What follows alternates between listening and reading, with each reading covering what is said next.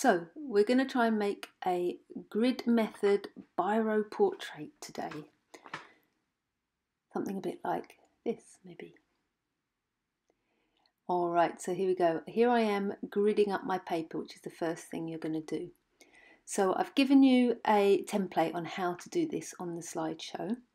Um, with an A3 piece of paper that's the size of your sketchbook, you're going to make a rectangle which is 40 centimetres long and 25 centimetres across. And when you divide that up into 5 centimetre chunks, you're going to get 5 blocks, 5 squares across and 8 squares down. Okay, so here I am marking out every 5 centimetres, down my 40 centimetres down, I'm doing it on both sides there, so it's going to be a straight line across.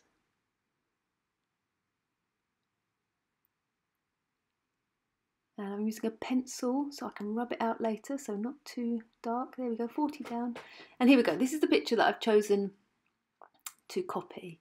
And then so I put it into Photoshop and I put a grid on, which is the same as on my paper. So I've made that easy for you guys by putting a grid of 5 by 8 perfect squares over the top of that photograph. And now I'm going to try and transfer what I see from the photograph onto my grid that I've drawn out. So the first thing is just pick somewhere interesting to start.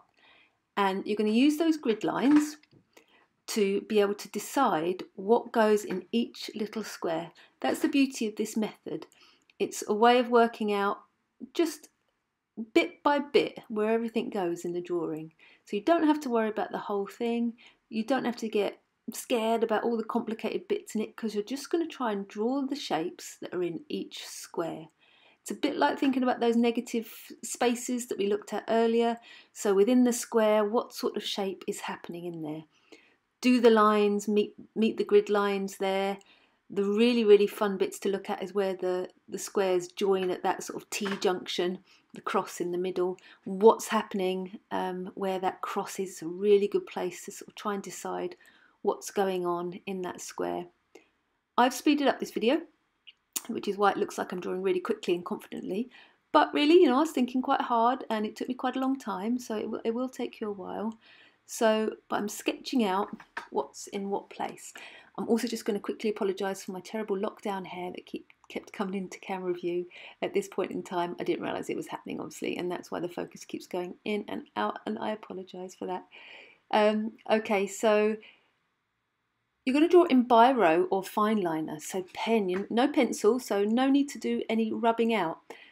Just draw the lines that you see. If you think you've made a mistake, just draw the line that you think is right, okay? Don't worry about drawing lines that you think maybe are wrong because the whole thing is going to look quite scribbly um, and you really won't notice it. Don't worry about it, okay? Don't think you've done it wrong or think you have to start again, anything like that. Just go for it. Um, the very if something really bad does happen later on that you think you've made a mistake, you could always put a bit of white paint over the bit that you don't like or a little bit of collage and just carry on. But I think you'll be absolutely fine. Just uh, getting on with it and then we're going to use this method of cross hatching you see I've started here which is very scribbly yeah and it doesn't mean have to be absolutely precise at all um, to colour in all the shadows here.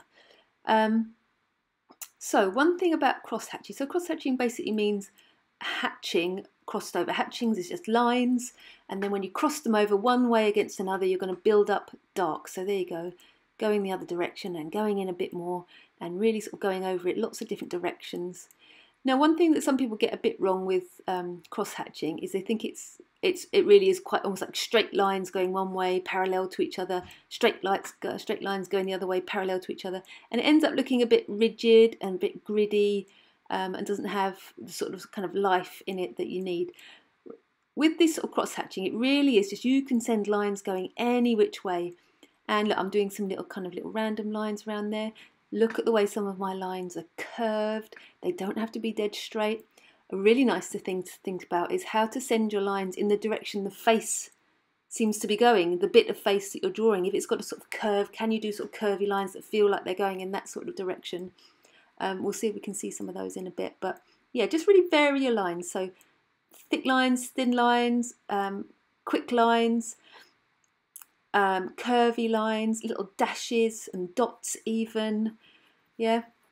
So try not to make it too um, stiff and rigid um, with your lines. Yeah, just be quite loose. It really will look good just um, just going for it and kind of scribbling around everything. But the thing I really want you to take care of is look for those dark areas. If you squint your eyes, and I've changed all the pictures that you're going to choose from today um, into black and white so that you can really think about value, so difference in colour, uh, I mean shade and light. Value means kind of dark and light. Um, so squint, if you squint your eyes, the light really jumps out from the dark and you can really see which areas you need to be really, really, really dark and black. So in those bits, I want you to really go for it. And that means cross hatching over and over to get those really deep dark blacks and you're going to get that really dramatic contrast, okay?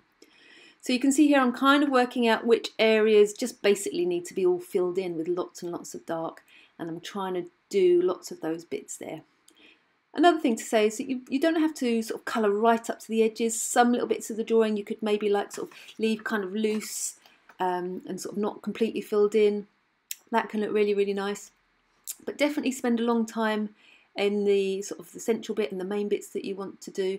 Quite a lot of these pictures have hands in as well, which is brilliant from last week. That's where I was at this point. Um, I've done most of the face there and there I've sort of added the hand and I think in a minute I'm going to show you um, I've done a bit more of the clothes but you can see I haven't sort of coloured right towards the edges. Now at this stage I'm almost finished rub out the grid lines and I've got this little bit of coffee in a cup. You don't have to do this stage but it does look really cool so I would encourage you to give it a go. You can use uh, tea or just quite a bit of strong coffee in a cup works really really well. And what I'm doing is I'm just painting over the shadowy bits, leaving some white, not painting over everything, just painting over where I've done most of the shadows. It always dries a lot lighter than it seems, so I'm not really nervous about where it's going. I'm not trying to stay within the lines too much. I'm not trying to be too precise. It's been quite blobby. Um, because like I say, it will dry quite a lot lighter and it just it gives a really, really nice effect. And what I actually did was I waited for a layer to dry, um, you know, about half an hour, and then I put on another layer, and I think I did that two or three times. Um, and it leaves these kind of really nice uh, watermarky um, blobs, which you'll see in a minute. So this is something I really love you to try if you feel brave enough, which I encourage you to. But you can remember you can take photographs of it at every st stage of the way. Okay. Okay, and now there we go. And that was the finished piece. Um, and you can see I decided to go in and colour in that little star on his hand too.